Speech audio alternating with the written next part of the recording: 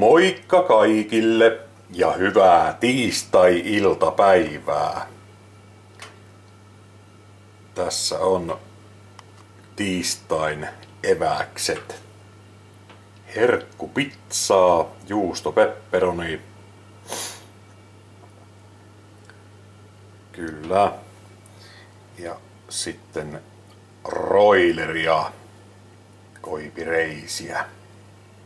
Ja nämähän on jo valmiiksi ihan kypsiä lihatiskiltä ostettuja. Et tota, tuota tuota. Joo.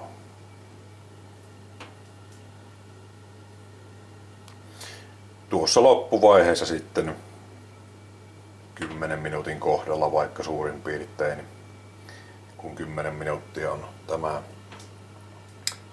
herkku ollut tuolla kiertoilma ihmeessä, niin sitten tempasee nämä sinne lämpenemään. Joo. Oli noi pepperonit vähän niin kuin vinksin vonksin. Laitoin järjestykseen. Mm. Ja loput cheesit sinne sitten myöskin. Kas noin.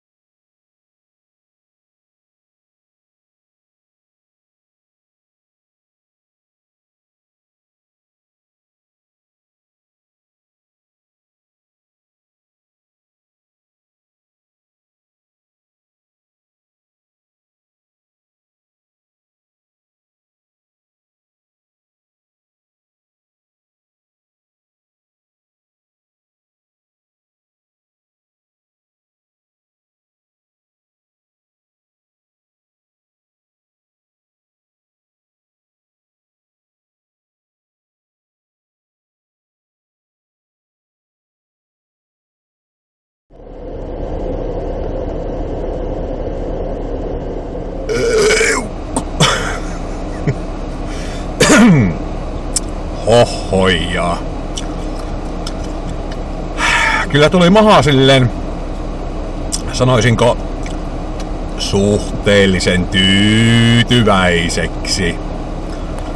Ihan kokonaan en herkkupizzaa kautta roilereita suonut syötyä, mutta melko tarkasti kumminkin jäi siihen vielä pikkunen slice pizzaa ja tota, ja, ja roileria myöskin vähän sen. No, tuossa sitten illalla lämmittelee mikro, mikro Auschwitzissa ja tempasee naamariin. Kyllä, tota, tankkaamassa kävin tuossa ja vähän purugummia ostin samalla. Syönnin jälkeen on hyvää pureksia